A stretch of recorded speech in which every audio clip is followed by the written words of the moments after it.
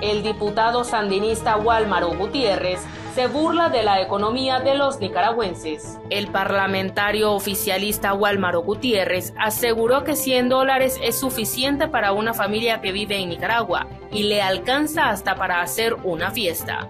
Hombre, cuando mandan 100 dólares toda la familia hace fiesta. Indicó así el parlamentario que devenga un salario superior a los 4 mil dólares más otros beneficios. 100 dólares en Nicaragua no representan ni el 18% del costo actual de la canasta básica, ya que datos del Instituto Nacional de Información y Desarrollo, INIDE, indican que hasta mayo del año 2024 esta tenía un costo total de 20.555 córdobas, es decir, unos 558 dólares.